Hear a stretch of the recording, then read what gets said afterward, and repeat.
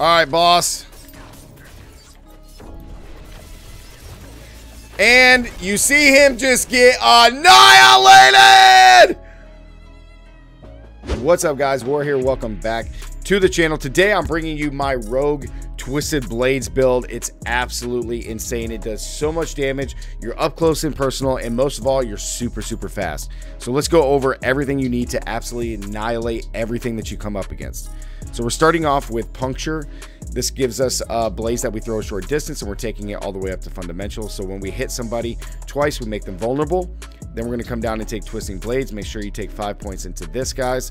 We're going to grab Enhanced Twisting Blades for more damage, and then we're grabbing Advanced Twisting Blades. So that way, when we dash away or Shadow Step away, the blades return to us and reduce our cooldowns through and do even more damage. So we're going to sort on down to our agility skills, and this is where the bread and butter is going to be after hitting Twisting Blades. We have Shadow Step up to Enhanced Shadow Step, so that way we have an increase in our critical strike damage against them when we shadow step. And then the, also our other agility ability is going to be dash with one node in there for enhanced dash. So enemies that take damage by dash take 20% increased critical strike damage from us for five seconds. This is great. Now we're going to skip down to Suffrage or Saboteur Fridge. we don't have anything in that. Or excuse me, yeah, we do. We have Exploit, one rank, and then we have two ranks in Malice. So that way we deal even more damage against vulnerable enemies because every monster we should be fighting is vulnerable. Then we come down and we take uh, Shadow Step with uh, Shadow Imbuement. Uh, we have Enhanced Shadow Step, or Shadow Imbuement, excuse me, and then Blended Shadow Imbuement. So that way we make them vulnerable, and then when they blow up, they make other enemies vulnerable. Then we have Shadow Crash, guys just for more damage. But we come up here. This is the most important one, Consuming Shadows, where each time we kill an enemy with shadow damage, we generate more energy.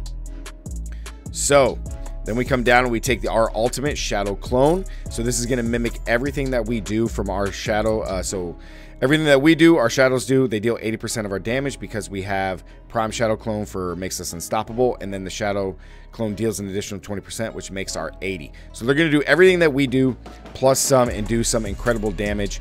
So that's the layout, guys. How this build works is we go in, we hit puncture at least twice, make them vulnerable. We hit them with blades, and then we can use our um, agility skills to dash away, and the blades are going to do a crap ton of damage. But we want to hit Shadow Imbuement on top of these, so we hit them twice, Shadow Imbuement, uh, Twisting Blades, and then we dash away, rinse and repeat. And then when we're on a boss like we're about to do now, we are going to be doing uh, Shadow Clone. So let's go hit it. Let's go, let's go, let's go. Let's go kill this boss, man. I have not fought a boss with this yet, so guys, you're going to see it firsthand here. We're going to go in and kill everything in here first, and uh, you'll see how it goes. Let's get it.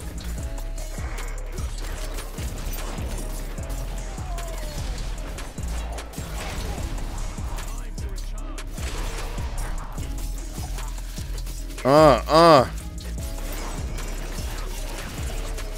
We're, we're going to hold our ultimate.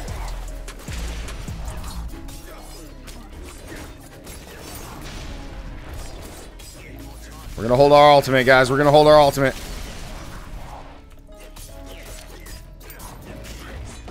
Oops. Easy peasy.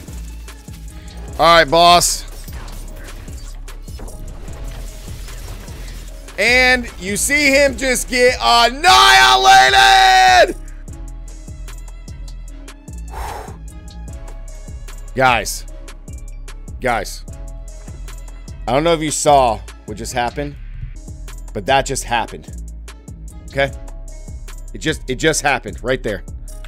All right. Now that we have the showcase done, let's go over some of the key gear pieces that you need to dominate with this build. Okay, the main and most important one, guys, is twisting blades orbit for a short time after they return to you, dealing 28% uh, damage of twisting blades damage return per hit. Based on the distance that they return to you, it increases up to 56%.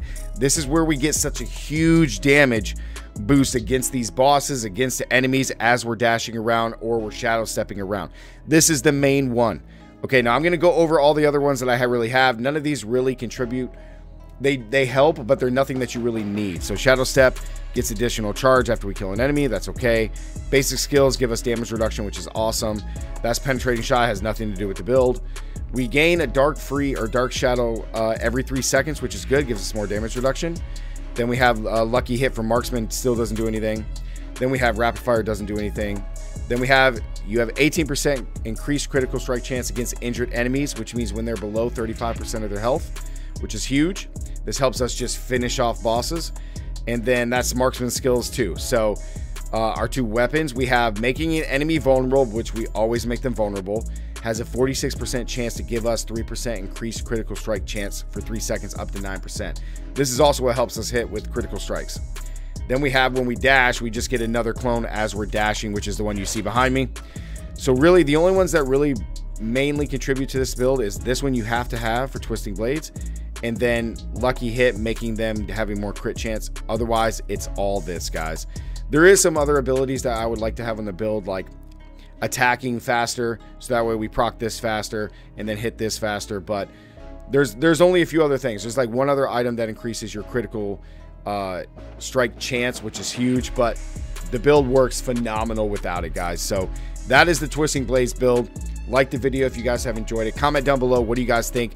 I'm sure there's a lot of other twisting blades out there because it's one of the strongest builds right now that i've seen uh, other people being using. So yeah guys like the video subscribe and as always, stay gaming. Catch you guys in the next one. Peace.